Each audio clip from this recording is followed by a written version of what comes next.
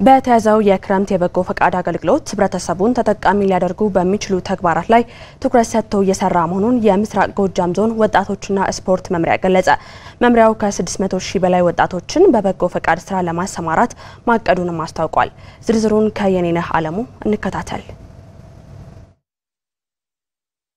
በምስራቅ ጎጃም ዞን በዘንድሮ የክረምት በጎ ፈቃድ ስራ በአረንጓዴ አሻራ፣ በደም ልገሳ፣ የማጠናከሪያ ትምህርት በመስጠት የአቅመ ደካሞችን ቤት መጠገንና ሌሎች ተግባራት ላይ ትኩረት ተደርጓል። የዞኑ ወጣቶችና ስፖርት መምሪያ ኃላፊ አቶ ቢሻው ሞላ የበጎ ፈቃድ ስራ ሰላምን የሚፈልግ ተግባር ቢሆንም በአስቸጋሪ ሁኔታ ውስጥም ሆኖ መልካም ተግባራትን ማከናወን ከወጣቶች የሚጠበቅ ኃላፊነት ስለመሆኑ ተናግረዋል። የዞናችን የሰላም ችግር ከመፍታት አኳያ ታሳቢ ያደረገ የክረምት የወጣቶች የበጎ ፈቃድ አገልግሎት በጎነት ለኢትዮጵያ ከፍታ ቁጥር ሶስት በሚል ለመስራት አቅደን እየተንቀሳቀስን እንገኛለን።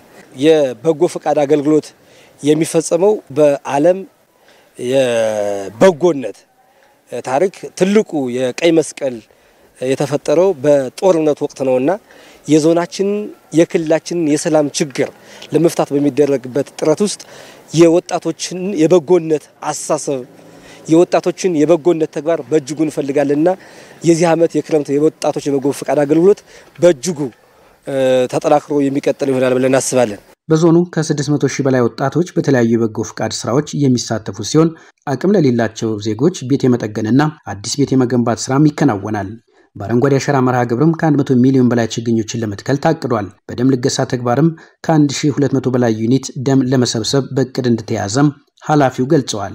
ተጨባጭ የማህበረሰቡን ችግሮች ታሳቢ ያደረገ ላይ ተመስርቶ የሚፈጸም ከመሆኑ አኳያ የክረምት የበጎ ፈቃድ አገልግሎት በዚህ ዓመት 234 የአቅመ ደካማ ቤቶች በአዲስ ለመስራት አቅደን እየተንቀሳቀስን ነው። 468 ቤቶችን ደግሞ የአቅመ ደካማ ቤቶችን በነባር ለመጠገን አቅደን እየተንቀሳቀስን የምንገኝበት ሁኔታ ነው ያለው።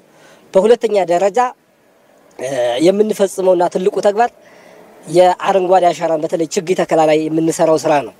መቶ ሰባት ሚሊየን ችግኝ በወጣቶች የበጎ ፈቃድ አገልግሎት ለመስራት አቀደን እየተንቀሳቀስ ያለንበት ሁኔታ ነው ያለው። ወጣቶች ከምንም በላይ ለሰላም መረጋገጥ ኃላፊነት እንዳለባቸው የጠቀሱት ኃላፊው የማህበረሰቡን ችግር መፍታት የሚቻለው ደግሞ የበጎነት እሴቶችን በማጎልበት በመሆኑ የበጎ ፈቃድ ስራው ላይ የነቃ ተሳትፎ በማድረግ ሀገራዊ ኃላፊነታቸውን መወጣት እንደሚኖርባቸው ተናግረዋል። የሀገርን የሚገነቡ ሀገርን የሚረከቡ ከሆኑ የማህበረሰቡን መልካም እሴቶች በመቅሰም ደረጃ በተግባር የሚለማመዱበት ዘርፍ ነው የበጎ ፈቃድ አገልግሎት ዘርፍ ማለት ነው።